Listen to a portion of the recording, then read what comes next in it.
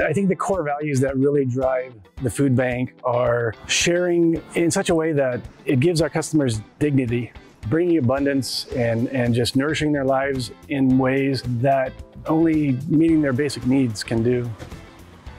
We have a, a great foundation right now, and we are poised to do even greater things.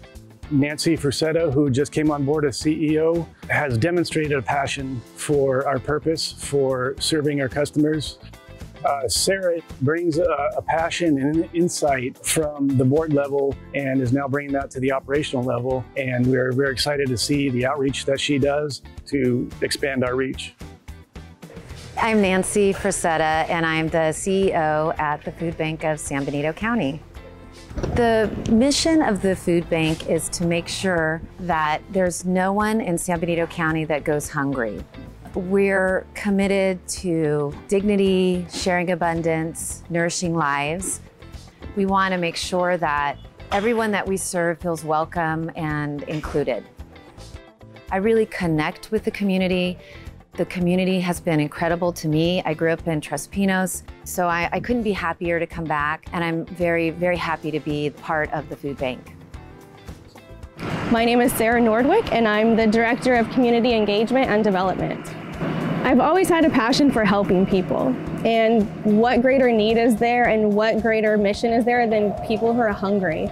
making sure that our future is fed and our kids, that no kid goes to school hungry, making sure all of our community members are fed has always been something that I'm passionate about and I'm excited now that I get to actually implement that and work here.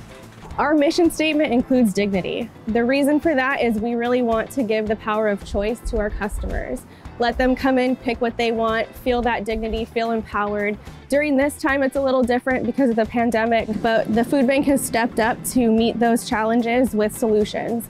We have implemented a drive-through system where our customers still receive the food as they did during the normal marketplace time, just in a different way.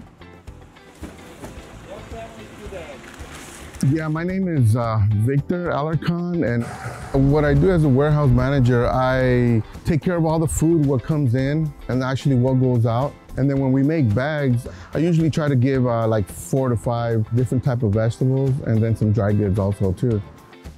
I'm a people person. I love working with people. Um, I like to help them out and stuff like that. So this, this is this is my this is my, I could say my calling. This is what I love, and yeah. I am Patricia Hawkes. I am the Director of Administration.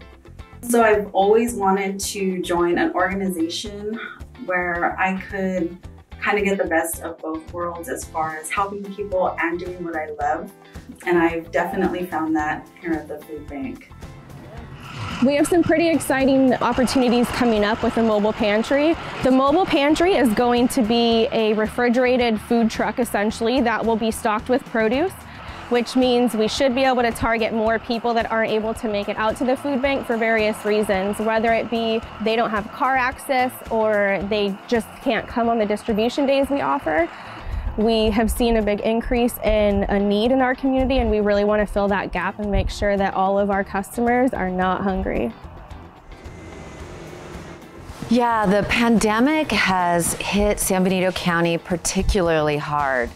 So we're calling on volunteers to come back. We have a very safe environment. We're following all of the county and state guidelines for COVID protocols, so we have a safe place.